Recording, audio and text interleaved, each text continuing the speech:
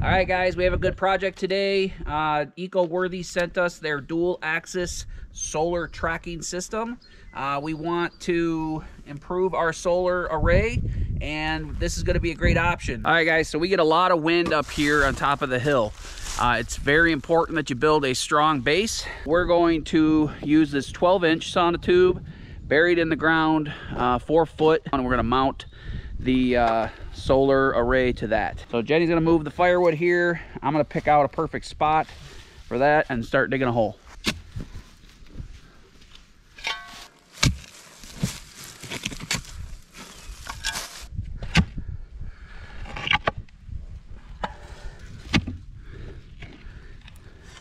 All right, guys, after about half hour digging that hole, I got a little over four foot deep, and it will help hold this sonotube a little higher right there.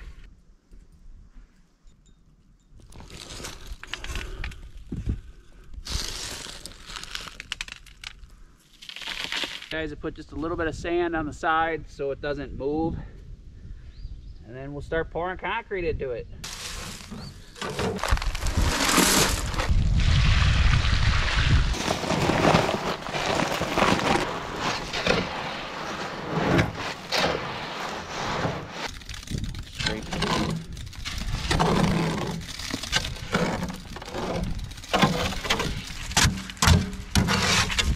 Right, guys, we have our base here for the tracking system.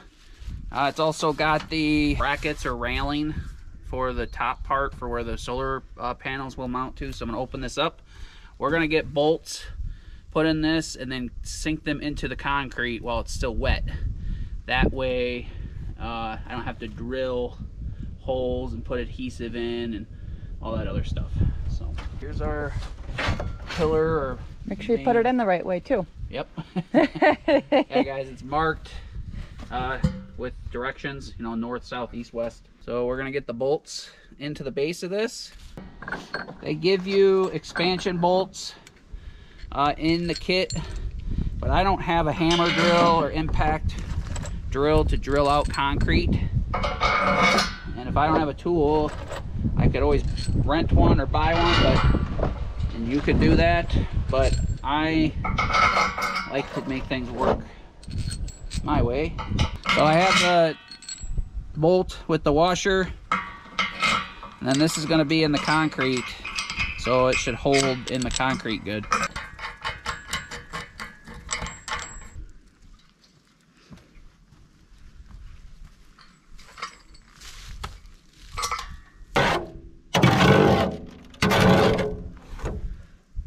Right.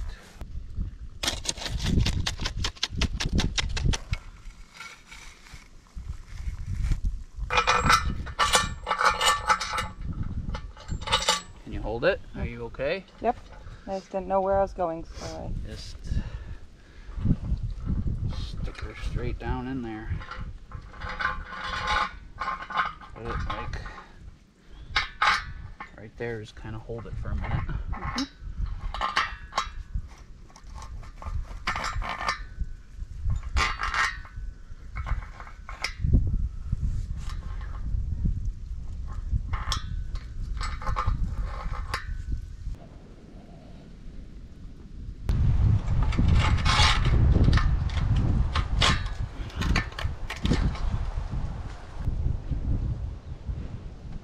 This needs to come up just a titch. There we go. Perfect.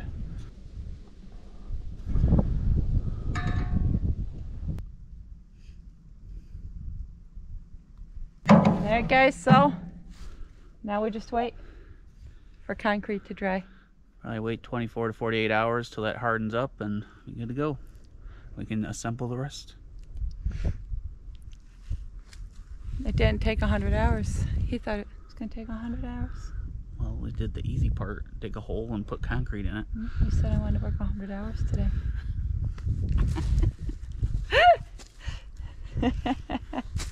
All right, guys, it's been 24 hours since we poured the concrete and set the bolts in the concrete.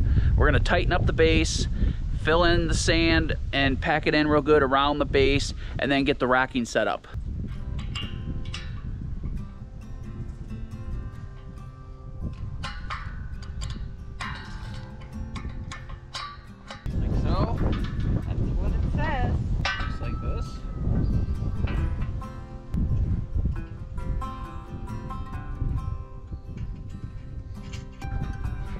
Thank you.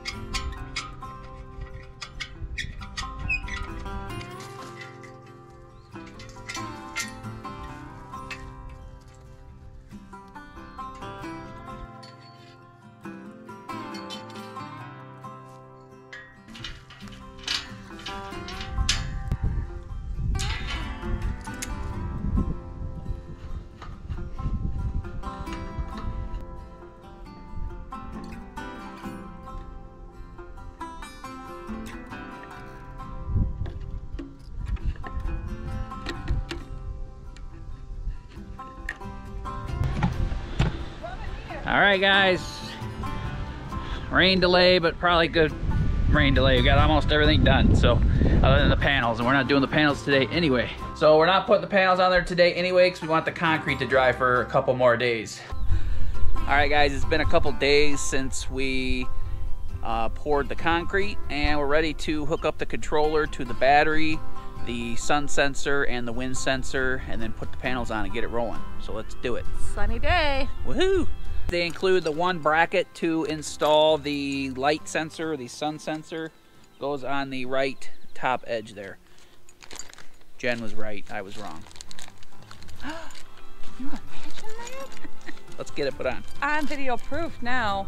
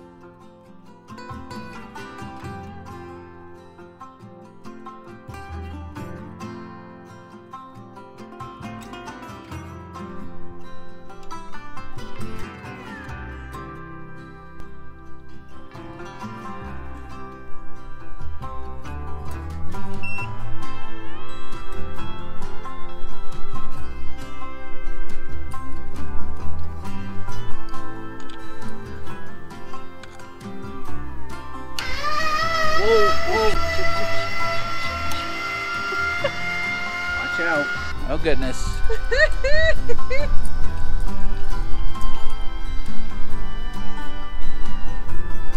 I guess you gotta be prepared if you turn the power on that it's gonna just automatically start working.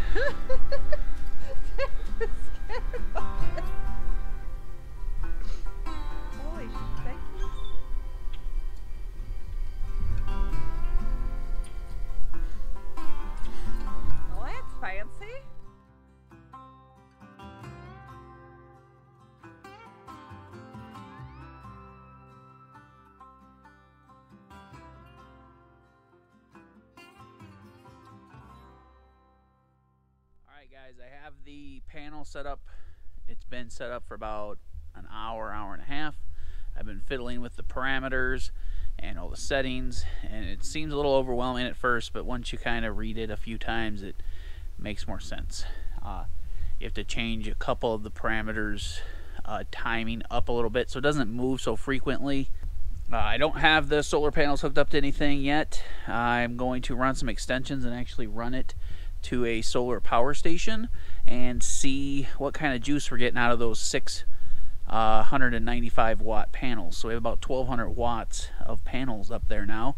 And uh, yeah, we're excited to have this additional power. So hopefully we get some sunshine, get this thing rolling tomorrow for you guys or the next couple days and watch it do a whole day's worth of work. So keep an eye out for that. Give us a few more minutes.